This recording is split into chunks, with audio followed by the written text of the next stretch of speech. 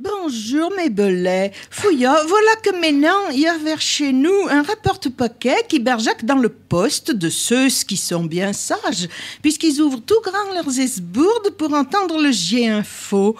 C'est le Jean-Loup Vivier qui nous parle de son pépé de Saint-Chamond.